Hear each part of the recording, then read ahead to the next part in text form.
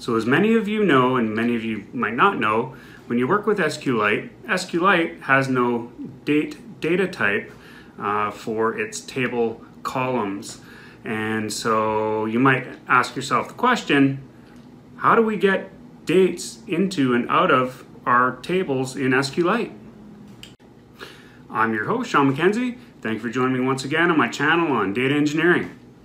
In this episode, we're going back to our Python playlist and we're going to take a look at uh, SQLite and how to get dates in and out of our uh, fields in SQLite uh, tables.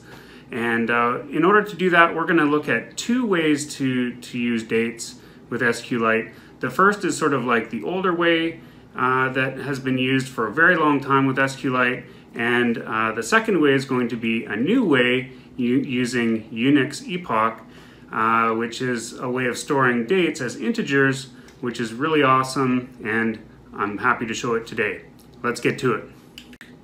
Looking for downloads of code and other various uh, files and things that I've used in these videos, make sure to check out my downloads page. The link is in the description. Okay guys, so this is a pretty fun one this week. We're working with our SQLite database and I'm just going to create a new file here from idle and uh, I'm going to save that as uh, SQLite dates.py. Uh, I will put this file on my new download site, so make sure you check that out uh, from the links in the description, and uh, we can get started. So I'm going to import SQLite 3 here, and I'm just going to um, make a note that um, uh, you want to make sure that you, you get your SQLite up to 3.38 or higher if you want to use the new uh, uh, Unix epoch uh, function, which is awesome, and it allows you to uh, to store your your dates as integers very seamlessly, um, and it's a and it's a method that's used in other programming languages and other databases, and so it is a really great uh, function for us to use uh, for our dates. And so getting started here, I'm just going to give some feedback to the console there. I'm going to say print starting, and then I'll create a connection variable as none there, and uh, my file name uh, with uh, my file location for my SQLite database. If you don't have one there, it will create one automatically. Um, since uh, this is nice integration with Python, it's just going to go and create that uh, file if you don't have one there. And, uh, and then I'm going to uh, start our try, except, finally blocks, and those are going to allow us to uh, handle if there's an exception that comes up, uh, something that breaks our code, and it's going to handle it gracefully, and it's going to close that connection to our SQLite database if there is one there, and uh, that's exactly what we want to see. And so once I create my connection, uh, cnn equal sqlite3.connect there, uh, and I'll put the file name in and then uh, give some feedback saying I'm connected. I can create my cursor, uh, which is cs equals cnn.cursor, and then my SQL string here that I'm uh, doing, it's going to create a table uh, with a few fields in it. Um, it'll have an ID field, which is an integer, and then just a text date, and then an integer, integer date, uh, which will store uh, dates in, and then I'll put a comment text field sort of on the end there, um, just so that we can insert some uh, we can insert some some data into there, and we can see the text date, uh, we can see the integer date, and then we can see how to use uh, functions, which is very simple to uh, insert dates into our table and get them back out again. So I'll do a cs.execute SQL there, which is going to uh, create that table. Um, that I believe does not require a commit uh, since it's DDL. It will actually create the, uh, create the table without a without a commit, um, and uh, I'll give some feedback uh, created, and then I'll do our insert statement uh, where we're going to insert um, into this this date table, and we're going to say uh, SQL is equal to insert into my dates, and then we'll do we'll we'll put our our integer uh, date ID in there, um, and our text date, our int, int date, and our comment field, and then we can sort of plunk some values in there. And what we'll do is we'll uh, just put in one for our for our key, and then we're going to use the date function here. So date is going to give you the truncated date, which just has the, the date. It doesn't have any time attached to it. And in this case, I, I can I can actually just put in the string if I want. I can put in 2022-08-15. Uh, but if I put the date around that, um, it's going to actually um, you know put it through the function and it's going to store it in there as a date. And then for the integer date, I'm going to put in a similar kind of date, but I'm going to use the Unix epoch function, which is going to give the the uh, the number of seconds from like 1970. Uh, I, I think it's September 1st or something like that, uh, which is Unix epoch, and that's going to give us uh, the an integer for our date, and then I'll put a example one on there uh, for the comment. And so that's going to store two different kinds of dates, one as a text, one as, as an integer, and then I'm going to execute that uh, using, uh, with the cursor, cs.execute. And then what I'll do after that, I'm just going to paste the same two lines of code and I'll change them a little bit um, so that we're putting in a different kind of, or a different date, I should say. And, um, and so I'll put in a 2 and I'll put in Unix epoch with uh, a, a timestamp on it as well. Um, and uh, there we go. We've got uh, Unix epoch with uh, 2314. That's 11:14 p.m. as our example two, and then I'll copy that, and we're just going to put in three records here, I guess, and just so that we can demonstrate this. Um, and then I'll I'll do uh, uh, number three and I'll use the date function again um, and uh, and then I'll do uh, uh, you know 0822 for August and uh, you know 1455 and uh, with 01 seconds on it.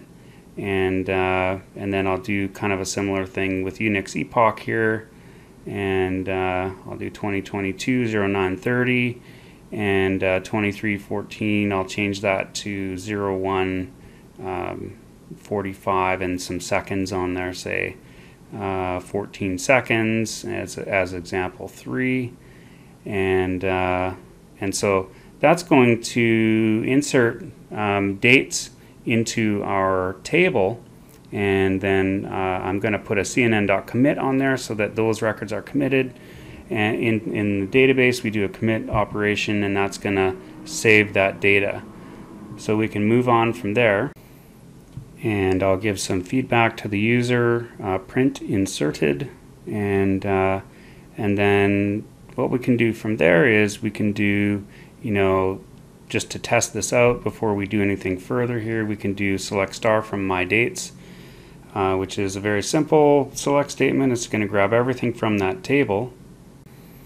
And then we can use the uh, cursor to get that data for us uh, so that we can sort of take a look and see um, we can take a look and see uh, what it looks like uh, when we select from our my dates table and so I can say uh, records equals cs.execute SQL and then I can just go for record in records uh, print the record that's sort of the simplest way of retrieving a little bit of data, data from the database. And then I'll finish our except block here, or our try except and finally blocks. Uh, I'm going to put an except exception as E uh, on there, and then if we get an exception, I'm just going to print the exception out to just in case I broke something here.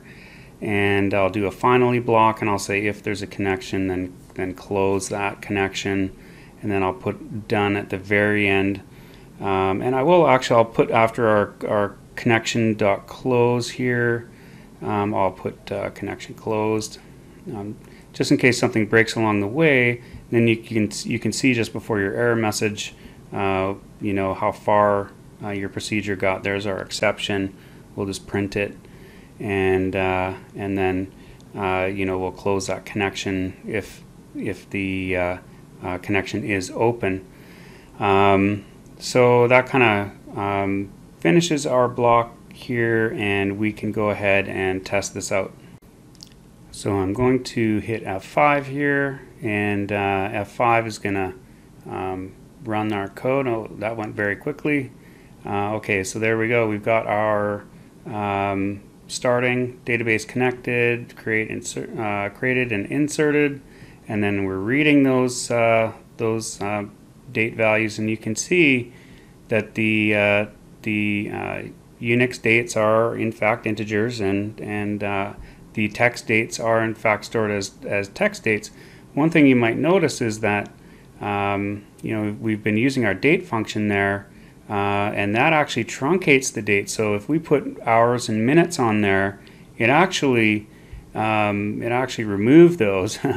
so I think I, I, need to make one more um, example here where where we actually get some date time in there. So this is very important. Um, I kind of missed that one, so I'll put four in for our ID, and I'll put in a date time uh, and so so that we actually uh, you know have our date time in our text date.